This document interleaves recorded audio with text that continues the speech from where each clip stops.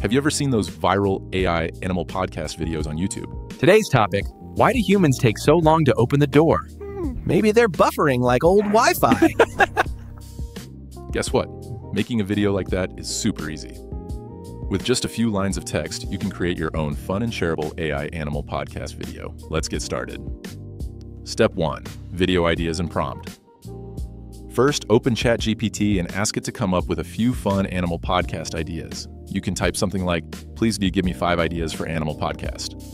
Then go through the list and pick one idea you like the most. Once you've decided, ask ChatGPT to generate a detailed prompt based on that idea, including the background, atmosphere, and sounds.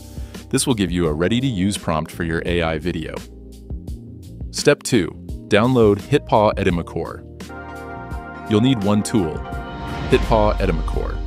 If you don't have it yet, I've left the download link in the description below. Step 3 Text to Video. Once you open Edimakor, head over to the Media section and choose Text to Video under AI Video.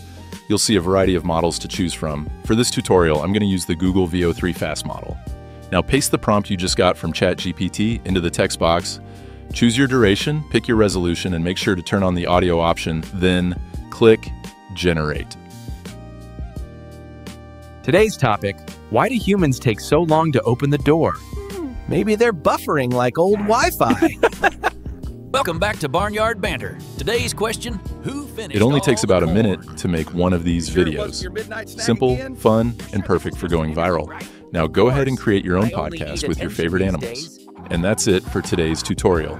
If you found this tutorial helpful, don't forget to like, subscribe, and turn on the notifications so you never miss an update. Thanks for watching, and I'll see you in the next one.